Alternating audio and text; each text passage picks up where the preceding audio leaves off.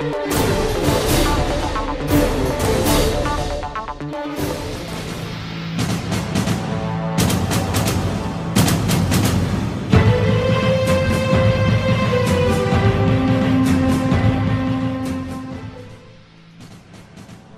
Simeunović, star 63 godine, istražni sudija Beogradskog okružnog suda, nestao je 7. novembra 2000. godine. Njegovo telo pronađeno je u Dunavu kod hotela Jugoslavije 3. decembra 2000. godine. Tog 6. novembra 2000. godine telefonom je razgovarao sa svojom sestrom Jelicom i video se sa nekim poznanicima, a dan kasnije, 7. novembra, posljednji put je viđen živ sa dvojicom muškaraca u Beogradskoj Knez Mihajlovoj ulici. Posle toga gubi mu se svaki trag. Pošto sljedećih nekoliko dana nije odgovarao na telefonske pozive, što je bilo neobičajeno, sestra je sa jednim sudijenim drugom, ključem ranije dobijenim od brata, otvorila njegov stan. Sve je bilo na svom mestu, a od garderobe, sem jedne košulje, farmerki i kožne jakne, ništa nije nedostajalo kožna putna torba koju je uvek nosio kada bi odlazio na put, bila je u stanu. Sestra Jelica policije prijavila nestanak brata. Njegovo telo pronašli su prolaznici na obali Dunava. Okružni sud u Beogradu ekspresno je izdao saopštenje da se sudija Simeunović ubio, jer je bio depresivan, sklon alkoholu i težak srčani bolesnik. Zanimljivo je, međutim, da na mesto na kome pronađeno sudijino telo, iako to procedura nalaže, nisu izašli ni istražni sudija ni javni tužilac. Prema nekim izvorima, lična karta i drugi dokumenti nađeni uz telo sudije Simeunovića bili su suvi, iako je telo otkriveno mesec dana pošto je nestao.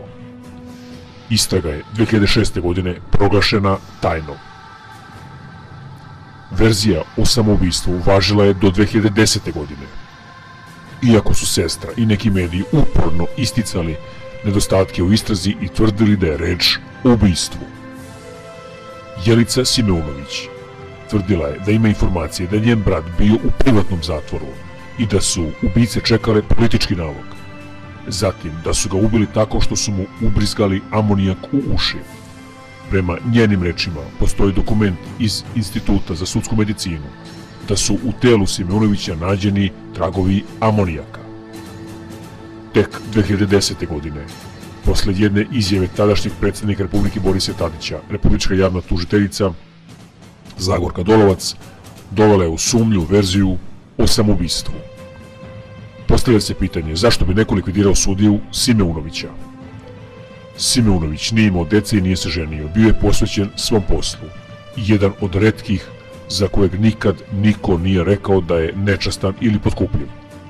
Vodio je istrage o ubistvima policijskog generala Radovana Stojčića Bađe, ministra vojnog Pavla Buratovića, optužbama protiv Julovca Nenada Đorđevića, koji je došao u sukob sa Mirom Marković, i padu ruskog aviona u Sučinu sa tovarom za Kadafijevu avijaciju, Možda se oglušio o nečiji zahtev da zažmuri.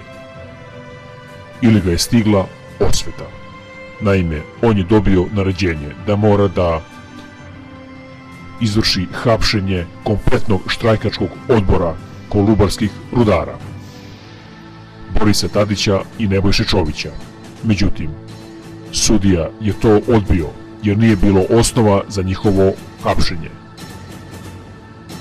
Lubaru je došao pokojni policijski general Boško Buha, a načelnik general štaba, osuđeni za ratne zločine na Kosovu, Nebojša Pavković je sa vojskom i kobrama došao 3. oktobra da hapsi štrajkački odbor.